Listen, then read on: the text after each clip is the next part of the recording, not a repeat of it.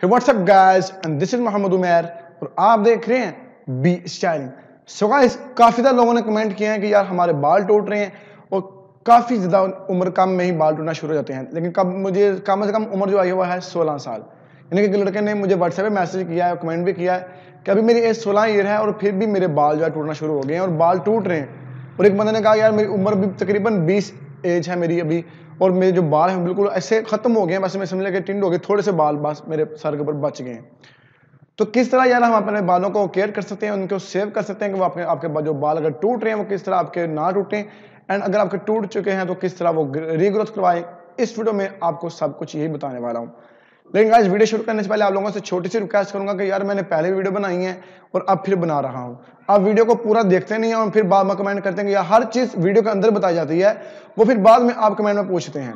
उसके अलावा जब कोई चीज़ वीडियो में नाम बताई जाए, तब आप पूछें पीछे, मैंने एक वीडियो बनाई है वियाना नीम सोप पे। अब मैंने वीडियो के अंदर नाम भी दिया था कि वियाना नीम सोप है ये, ठीक है? फिर भी लोग कमेंट कर रहे थे, यार दो तीन लोगों ने कमेंट किया, क्या सोप का नाम क्या है? सोप का नाम। हर चीज़ वीडियो के अंदर बताई जाती है। आपसे यही रिक्वेस्ट करूँगा कि वीडियो को शुरू से एंड तक देखा करें गाइस तभी आप ये सब कुछ जान पाएँगे।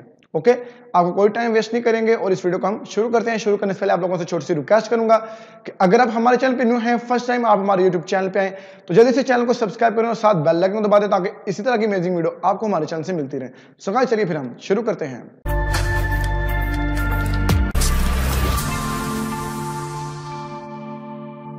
सो गाइस सिंपली तौर पर हम नेक्स्ट वीडियो में ये बात करेंगे कि आपके बाल क्यों टूटते हैं।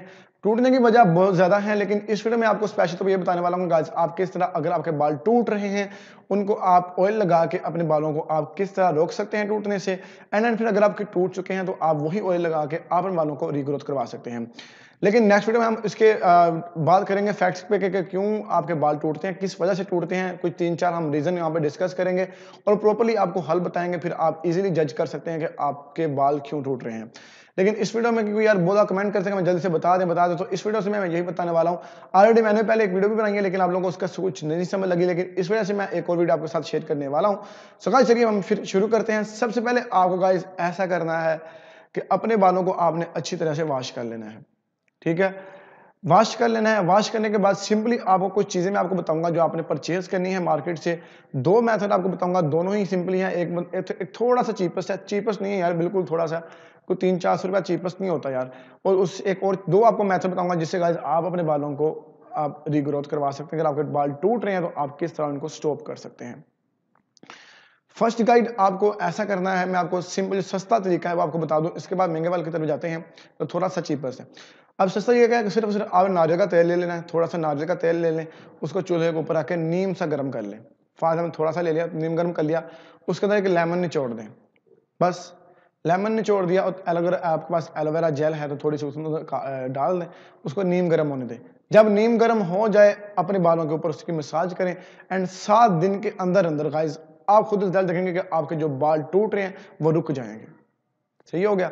आपके बाल टूट रहे हैं रुक जाएँगे और वहाँ से रिग्रोथ होना शुरू हो जाएँगे। एक तो ये होगा मेथड अब दूसरे पे जाते हैं जो कि मैंने खुद अप्लाई किया एंड मेरे भी बाल टूट रहे थे आज से तकरीबन छः माह पहले की बात है मेरे खुद बाल टूटना शुरू हो गए थे और मैं टेंशन में था यार मेरे काफ़ी ज़्यादा बाल ना सिर्फ़ मेरे सर पे थोड़े से बाल रह गए थे। तो मैंने कैसे फिर ये सारा कुछ किया और कैसे रिग्रोथ किया चलिए ये भी मैं आपको बताता हूँ। सो सिंपली आपको ऐसा करना है किसी भी पंसार के शॉप पे चल जाना है वहाँ से आप, आपको जाके एक तेल परचेज करना है सौ रुपये का तेल ले लीजिएगा तिल का तेल लेना है उसे। तिल का, ठीक है? तिल आपने देखोगे छोटे छोटे तिल होते हैं। तिल का तेल आपने लेना है, तिलों का तेल, वो आपने वहाँ से ले लेना है। तिलों का तेल सौ रुपये का ले लिया एंड वहाँ से आपने दस या पंद्रह रुपये की सुरमे की डली ले लेनी है, ठीक है? सुरमे की डली ले लेनी है तिल का तेल ले लिया, फिर आपने वापस आ जाना है। किसी सब्ज़ी वाली शॉप से कहा आपको लेना है मेथी थोड़ी सी आप मेथी ले लें एंड आप ले लें इतना सा एक अदरक समझ लें, इतना का अदरक ले लें और उसके बाद एक थोम ले लें आप, ठीक है? एक थोम की गट्टी ले लें, ठीक हो गया? एंड उसके बाद एक प्याज आप ले लें। बस ये चीज़ें आपको परचेज करनी है और आपने घर पे ले आना है।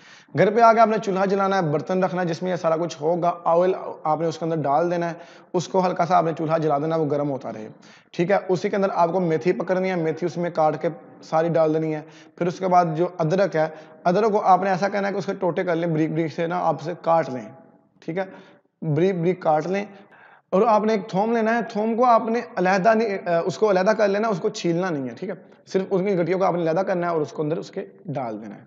सिंपली ये हो गया और प्याज है, प्याज को आपने गाइस प्याज को भी ऐसे आपने काट के ब्रिक ब्रिक डालें या उसका मोटा काट लें, जैसा भी आप उसमें डाल दें। प्याज हो गया, अदरक, थोम, मेथी चारों चीज़ें डाल दी ऑयल आपने उसके ऊपर रख दिया। सुरमे की जो डली है, वो भी आपने उसके अंदर रख देनी है।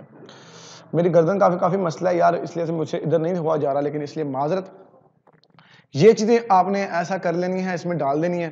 ठीक है? डालने के बाद गाइज़ आपने इसे चूल्हे के ऊपर गर्म होने देना होने दें होने दें, चूल्हे के चाहे तेज़ कर लें, कोई मसला नहीं है। गर्म कर तेज़ वो बिल्कुल सड़, जल जाए, सब चीज़ जो आपने डालनी है, आपका ऑयल ब्लैक हो जाएगा। येलो टाइप होएगा, वो ब्लैक हो जाएगा।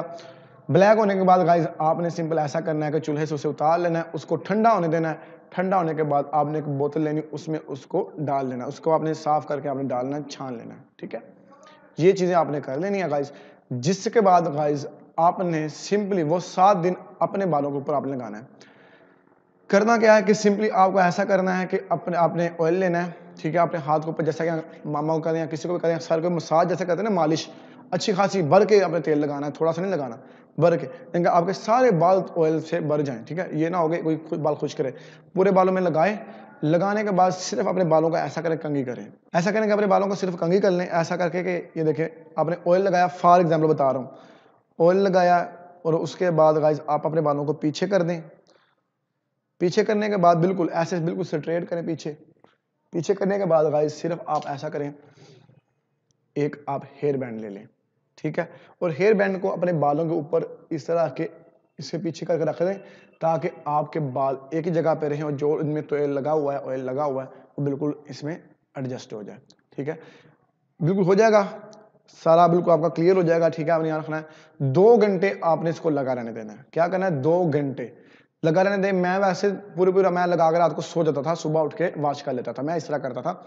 अगर आपको करना है तो ये हेयर बैंड लगाना लाजमी है तो फिर आपके बाल ना, क्योंकि सारी चीज़ें गर्म है तो आपके बाल करली हो जाएँगे, ठीक है? तो आपने ये चीज़ ज़रूर अप्लाई करनी ताकि आपके बाल बिल्कुल सीधे रहे, बिखरे ना इधर उधर ना हो। सिंपली ये चीज़ आपने करनी है। और उसके अलावा गाइज़ आपको मैं बता, बताता चलूँ बताता चलूँ कि आपको जो दूसरा कंगा होता है ना वो आपने यूज़ नहीं करना ये वाला ले लें कंगा क्योंकि इसके आप, आपसे आपके बाल नहीं टूटेंगे। उससे ज़रा से आपका बाल डैमेज हो गया थोड़ा सा आगे से कर लो तो जब आप कंगे करते हैं तो वो कंगी नहीं था अड़ते फिर वो ज़ोर ज़ोर से जब करते हैं वो बाल टूटते हैं। सो इस चीज़ को मदद रखेंगे कि आपने वो भी यूज़ नहीं करना। है सिंपली ये परचेज कर लें यार आपको अस्सी नब्बे रुपये का आज इजीली मिल जाएगा। ये परचेज करके इससे आप बाल अपने कंगे किया करें। देखिए, मैं भी पहले करता था, अब मैंने उससे करता था, लेकिन अब मैंने ये स्टार्ट किया और ये बेस्ट है। क्योंकि जो चीज़ें मैं आपको बताई हैं सिंपली आप फॉलो करें। उम्मीद है जिस तरह मुझे फ़ायदा हुआ इनशाला आपको भी फ़ायदा ही होगा, क्योंकि मेरे बाल टूटना अगर रुक चुके हैं तो फिर आपके भी यही मेथड करके रुक जाएँगे, जो मैंने आपको सिंपली बताया। सात दिन लगाएँ एंड सात दिन के बाद रिज़ल्ट आप खुद ही कमेंट में आकर बताएँगे कि यार रिज़ल्ट मिला है कि नहीं मिला, आपके बाल रुके हैं टूटना, नहीं टूटे रीग्रोथ हुए हैं या नहीं हुए ये सब कुछ आपको सात दिन के अंदर अंदर पता चल जाएगा। सो गाइस ये थी हमारी छोटी सी वीडियो उम्मीद करूँगा आपको पसंद आई है। अगर आपको हमारी वीडियो अच्छी लगे, इसको लाइक और शेयर करेगा मिलते हैं नेक्स्ट वीडियो में, तब तक के लिए मुझे इजाज़त दीजिएगा। अल्लाह हाफिज़।